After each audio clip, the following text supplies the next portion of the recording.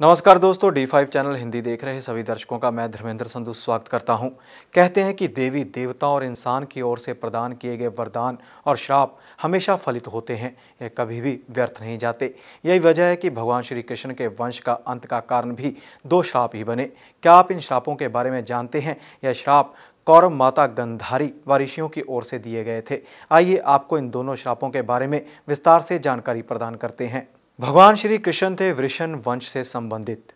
कहा जाता है कि मथुरा अंधक संघ और द्वारिका वृष्णियों की राजधानी थी। ये दोनों स्थान ही यदु वंश की शाखाएँ थी। यदु वंश में अंधक वृषण, माधव, यादव आदि वंश चले। भगवान श्री कृष्ण वृषण वंश से थे। वृषण वंश ही वार्षण कहलाए, जो बाद में वैष्णव हो गए। श्री कृष्ण को गंधारी ने दिया था श्राप। महाभारत का अठारह दिनों तक चला युद्ध। एकमात्र ऐसा युद्ध था जिसने कई घटनाओं और कहानियों को जन्म दिया। इनका भारत में भविष्य पर भी असर पड़ा। इस युद्ध के बाद तो भगवान श्री कृष्ण को भी श्राप तक का सामना करना पड़ा। महाभारत युद्ध समाप्त होने के बाद भगवान श्री कृष्ण गंधारी को अपने सौ पुत्रों की मृत्यु के शौक में विलाप करता देख सांत्वना देने उनके पास गए। भगवान श्री कृष्ण के सांत्वना भरे वचन सुनकर गंधारी ने क्रोध में आकर उन्हें श्राप दे दिया। गंधारी ने कहा कि श्री कृष्ण, तुम्हारे कारण जिस तरह से मेरे सभी पुत्रों का नाश हुआ है, उसी तरह तुम्हारे समूचे कुल का आपस में एक दूसरे दूसरे संग लड़कर ही नाश हो जाएगा। ऋषियों ने भी दिया था यह श्राप एक दिन विश्वामित्र, असित, दुर्वासा, कश्यप, वशिष्ठ और नारद आदि बड़े बड़े ऋषि द्वारका के पास पिंडारक क्षेत्र में निवास कर रहे थे। अनादि किशोर, जामवती, नंदन शाम को स्त्री वेश में सजाकर उनके पास ले आए।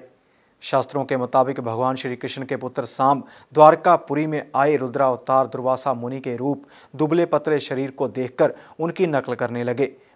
अपमानित दुर्वासा मुनि ने शाम को कुष्ठ रोगी होने का श्राप दे दिया, फिर भी शाम नहीं माने और वही हरकतें करते रहे। तब दुर्वासा मुनि ने एक और श्राप दे दिया, शाम से लोहे का एक मूसल पैदा होगा, जो यदुवंश की बर्बादी और अंत का कारण बनेगा। केवल बलराम और श्री कृष्ण पर उस मूसल का वश नहीं चलेगा। मुनियों की यह बात सुनकर वे सभी युवा बहुत डर गए। उन्होंने तुरंत शाम का पेट, जो गर्भवती दिखने के लिए बनाया गया था, खोलकर देखा तो उसमें एक मूसल मिला। इस मूसल के मिलने पर बच्चों ने राजा उग्रसेन को सारी जानकारी प्रदान की। राजा उग्रसेन ने उस मूसल का चूरा चूरा कर डाला तथा उस चूरे व लोहे के छोटे टुकड़े को समुद्र में फेंकवा दिया ताकि ऋषियों की भविष्यवाणी सही ना हो। परंतु मूसल के उस टुकड़े को एक मछली निकल गई और मूसल का चूरा लहरों के साथ फिर से समुद्र के किनारे पर आ गया और कुछ दिन बाद एरक के रूप में उगाया मछुआरों ने। उस मछली को पकड़ लिया। उसके पेट में जो लोहे का टुकड़ा था, उसे फेंक दिया। उसे जरा नामक बहेलिए ने अपने बाण की नोक पर लगा लिया। एक दिन श्री कृष्ण ने यदुवंशियों को तीर्थ यात्रा पर चलने की आज्ञा दी, परंतु यदुवंशी आपस में लड़ने लगे।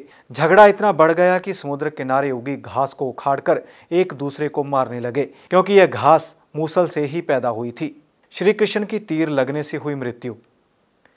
वहीं दूसरी तरफ़ बलराम जी स्वयं ही अपने शरीर का परित्याग कर समुद्र में प्रवेश कर गए, जबकि श्री कृष्ण भूमि पर ध्यान में लीन थे। इसी दौरान जरा नामक बहेलिए ने उनके पैर में तीर मार दिया, जिससे श्री कृष्ण की मृत्यु हो गई।